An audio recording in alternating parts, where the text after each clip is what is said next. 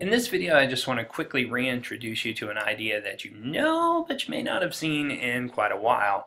You'll be asked to find what's called the perimeter of a figure, and you'll be expected to do this where the perimeter is going to be given to you as a polynomial. So let's refresh ourselves on what the idea of perimeter is. Anytime you have a polygon, a closed-in figure made of lines such as this, we can talk about the perimeter of that polygon as the distance around the center. Uh, imagine you pick some place to start on the figure and then you travel, you walk all the way along the outside of the figure. Lost track of things for a moment there, I apologize.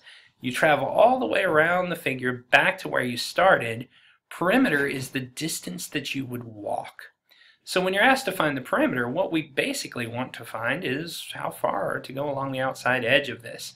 If we're talking about reality, if this was a yard, how much fence would you need uh, to cover that whole yard in that triangular shape there? So the way we do this is by adding up the length of all the sides. And these numbers you hear, or numbers you see right here, represent the length of each side. So v plus 8 represents that length, v plus 5 represents that length, v plus 3 that length, so on and so forth. So if I want to find the perimeter, all I have to do is add these three together. So if I add those three together, I will get v plus 8, that's a polynomial, so let's put it in parentheses, plus v plus 5 plus v plus 3. And since this is a triangle with three sides, I would expect to add three things together, and so I do. And when I'm going through this, you do it just like you've done everything else. There is a linear term, there's another linear term, there's another linear term. So v plus v plus v is going to be 3v, you guessed it. And now I do the same thing. The next thing I've got there is a constant term. So I look for all my other constant terms. There they are.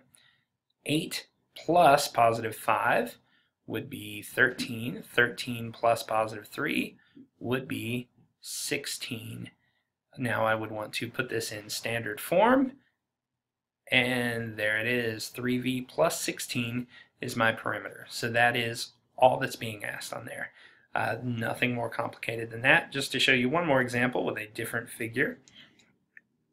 Find the perimeter, simplify your answer of this right here. So again, perimeter, it's just adding up all the sides. So pick a side to start from. I'll start from b minus 9, b minus 9, plus, and then just go around and get all the sides.